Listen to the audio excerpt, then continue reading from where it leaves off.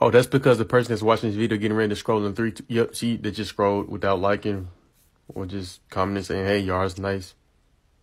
That's okay though. I mean, you know, hey, I mean, if you stay this long, can you follow me?